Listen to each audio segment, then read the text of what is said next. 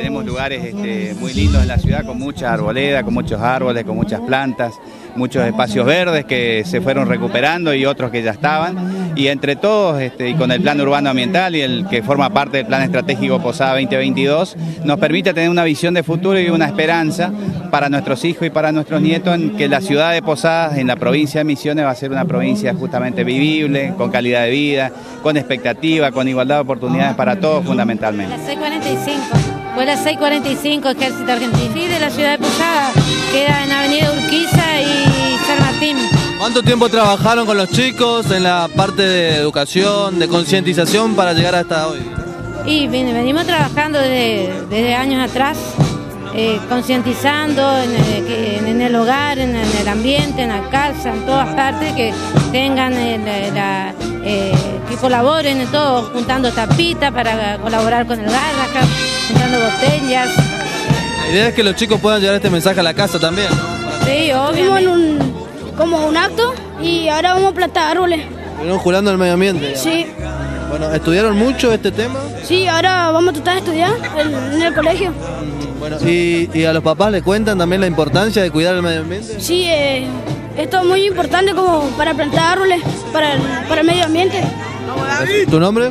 Eh, David, ¿De qué escuela? mire, la C45. Gracias, David. Chicas, ¿y ustedes también? ¿Plantando árboles hoy? ¿Cuidando el medio ambiente? Sí, ¿Estudiaron mucho esto de cuidar el medio ambiente? sí, ¿Les gusta? sí, porque te ayuda, a- o sea, es lindo ver eso en, en las personas, re lindo es la- el medio ambiente. Nosotros somos de la escuela 721, que queda ahí en Avenida Perón, casi Tambor de Tacuara.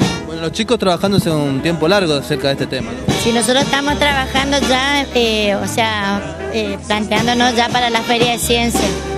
Eh, justamente habíamos eh, mirado un programa de ustedes donde hablaban sobre el, el relleno sanitario y hablaban de las pilas o la contaminación ambiental, entonces ellos por decisión propia optaron por ese tema.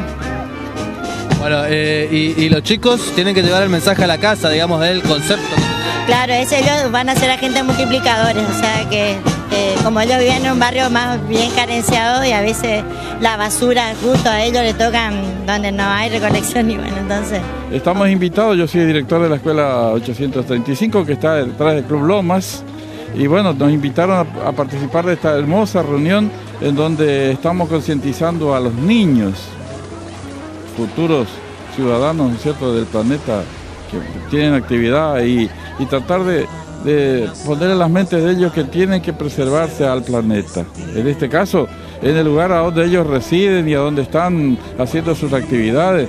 De repente decíamos que se transforma esta ciudad que antes era suburbio eh, eh, en un lugar de paseo y de encuentro de las personas, en donde se tiene que preservar los lugares, eh, los jardines, las flores, las plantas, también tener cuidado para pasar la calle que antes podían corretear sin problemas, ahora pasan autos velozmente por esta hermosa costanera, pero lo importante de esto es que acá tenemos una hermosa agua que también es parte de nuestra riqueza acá de América, ¿no es cierto?, este río Paraná y todos sus efluentes que es agua dulce, que todo también te- tenemos que aprender a preservar eso que es el, el futuro de la humanidad.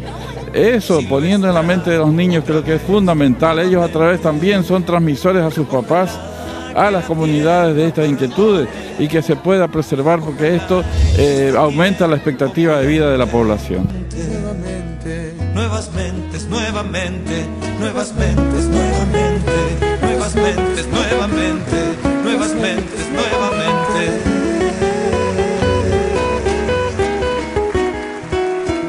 Teo Burgos en el stick, Pochoski, el dueño de la última gota de agua sin contaminar del universo.